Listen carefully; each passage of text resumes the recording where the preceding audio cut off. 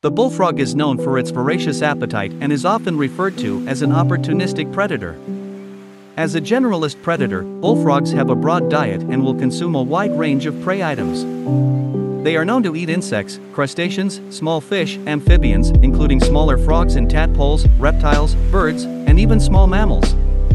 Their large size and powerful jaws allow them to capture and consume a variety of prey.